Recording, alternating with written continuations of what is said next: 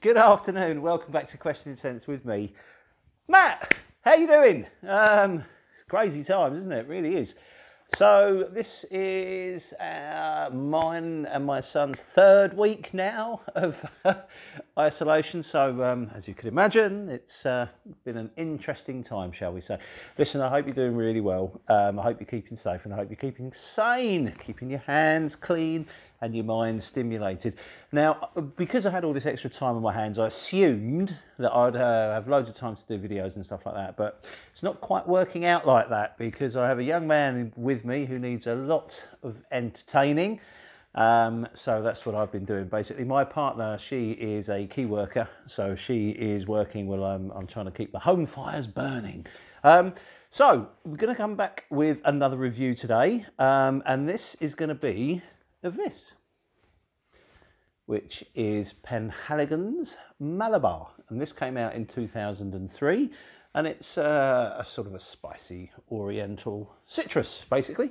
Um, it's described um, quite accurately as a, a, very feminine fragrance, and it is quite feminine to be honest, but I really enjoy wearing it. This is um, one of the rare fragrances that I have that me and my wife actually share. Um, she likes it as well. It's um, I don't think it's too feminine. I think it is feminine, um, but I don't think it's far too, too much. It, it, it's about as I mean, there's a couple of um, fragrances that I have that are very feminine that I actually like to wear or, you know, share with my wife. Um, and this is certainly one of them. I think if you're confident with sort of lighter or florally or more feminine type fragrances, you'll be all right with this if you are a guy.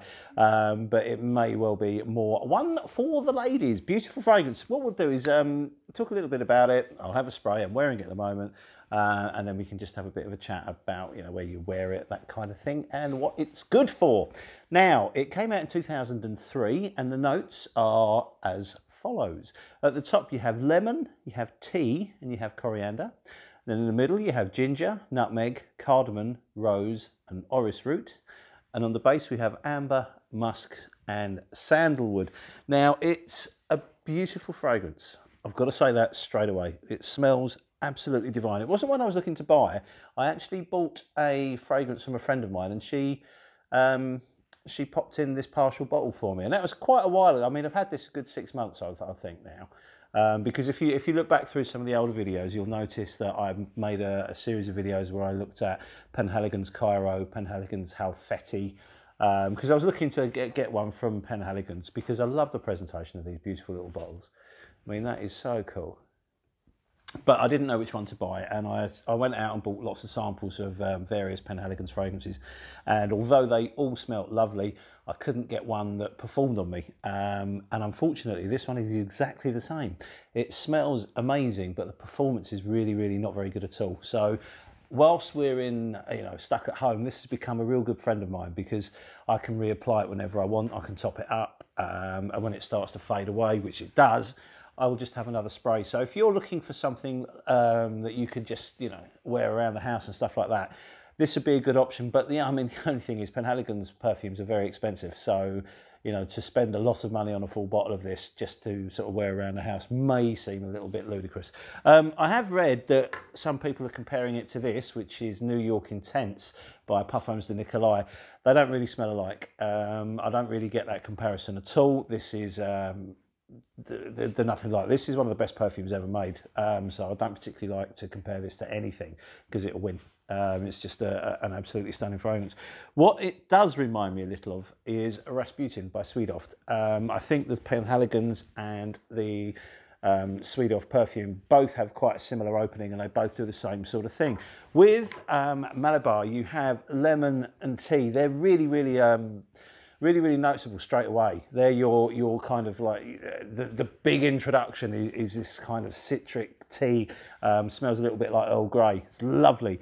The spices are there. Coriander, mm, I don't pick, pick that up too much, but the ginger, the nutmeg and the cardamom. The cardamom is the strongest, which is probably why I'm reminded a little bit of this because this has got cardamom in it as well. Um, some people really go on about the cardamom in um, Rasputin. I, I, I, find it nice. It's uh, they're, they're, both well blended.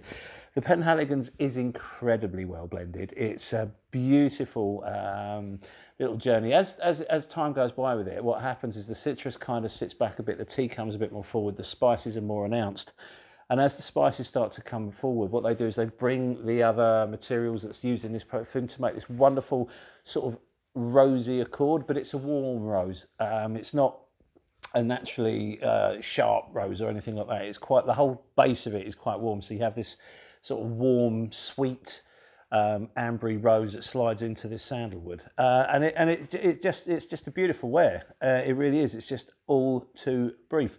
But the one reason I do like it so much is because it's so calming. It just makes you feel chilled. It's a really relaxing perfume, and uh, you know these sort of times when we're kind of forced to stay indoors, it, it's nice to have something that you can sort of relax with.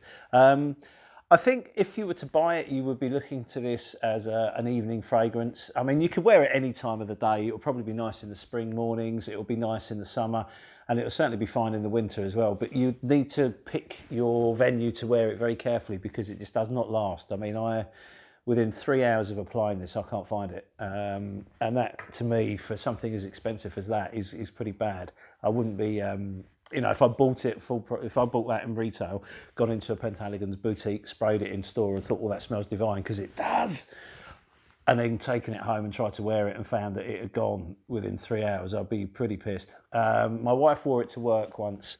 Uh, and she said she'd lost it. She'd lost the smell of it by the time she got to work, which is, you know, her commute's like an hour and a half at worst.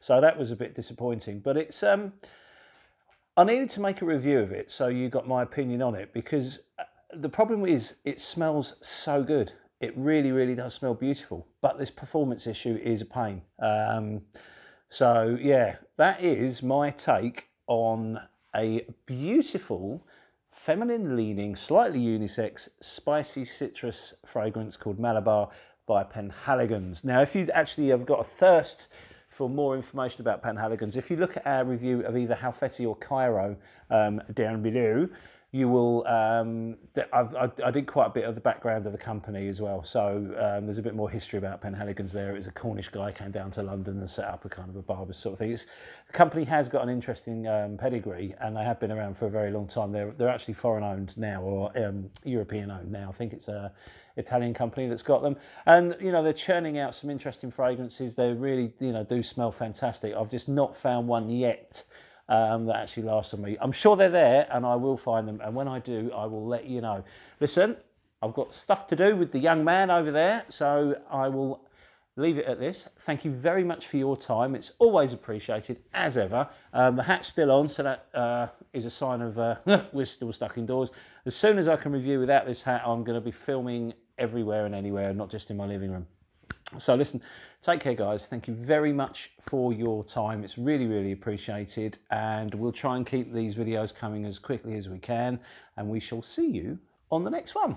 Take care, many thanks, and bye.